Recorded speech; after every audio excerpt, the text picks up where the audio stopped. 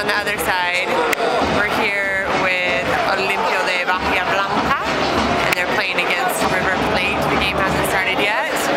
And this is our wonderful new friend Samantha who brought us here. This is Rachel. That's Rachel's walking boot.